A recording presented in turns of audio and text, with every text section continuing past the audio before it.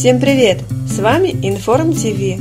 Алла Пугачева, Михаил Боярский и другие звезды родом из советских коммуналок. Подписывайтесь на канал, мы будем благодарны за лайки и комментарии. Коммунальные квартиры знакомы почти каждому рожденному в СССР. В коммуналках родились и выросли как миллионы простых советских граждан, так и знаменитости всесоюзного масштаба.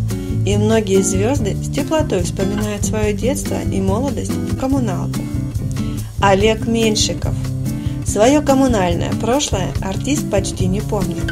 Тогда Меньшикову было очень мало лет.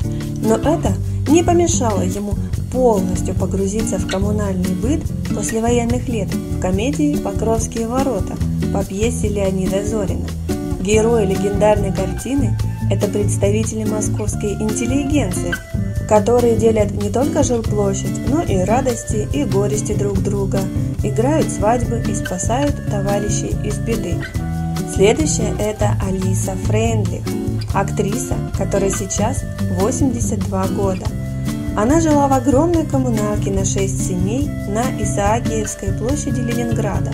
Коммунальная квартира, в которой росла Френдлих, была основана еще до войны, но после эвакуации и блокады от старых жильцов осталось только две семьи, и квартиру заселили новенькие, которые быстро сдружились. В то время актриса вспоминает с теплотой. Соседи вместе отмечали праздники и делились продуктами. Сейчас актриса живет на знаменитой улице Рубинштейн. Далее Владимир Путин. Заботились друг о друге и жильцы питерской коммуналки, в которой вырос Владимир Путин – Вместе со своими родителями, заводскими рабочими, будущий политик жил в комнате в 20 метров в Басковом переулке и съехал из коммунальной квартиры, только став сотрудником КГБ. По выходным Путин и всей семьей ходили мыться в Некрасовские бани.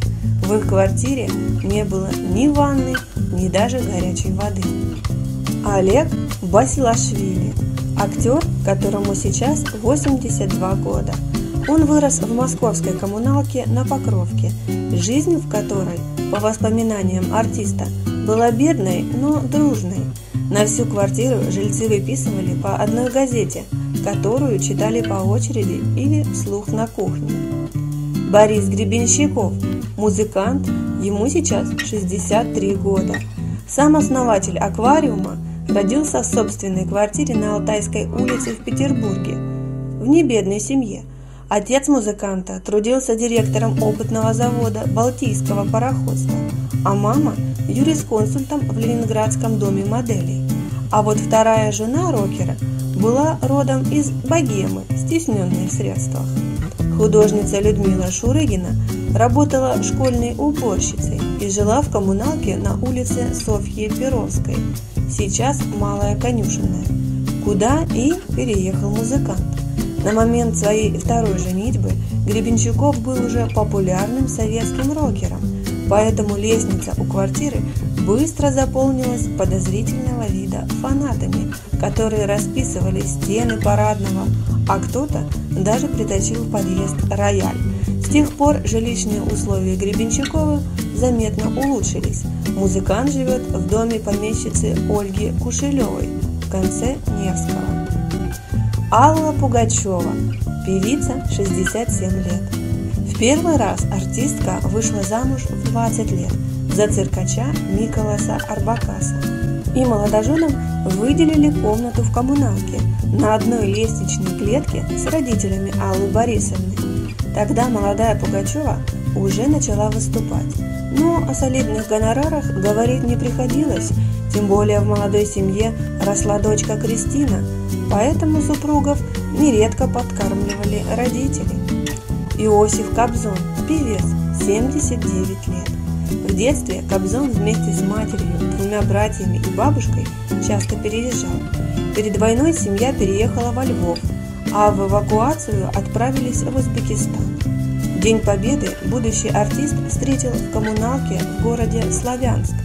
Кобзон вспоминает, как сквозь тонкие стены квартиры были слышны рыдания семей, получивших очередную похоронку.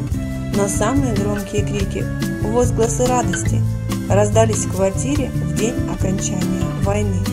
Юрий Никулин. Его не стало в 1997 году. Он был актером и знаменитым клоуном. Когда будущему артисту было 4 года, его семья перебралась в Москву из города Демидово и обосновалась в коммуналке на площади Разгуляй.